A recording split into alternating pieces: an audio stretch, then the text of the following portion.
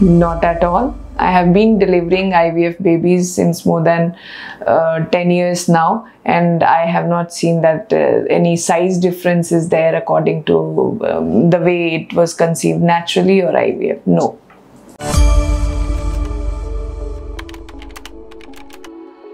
Follow us to stay updated on debates, discussions, facts, and tips about health.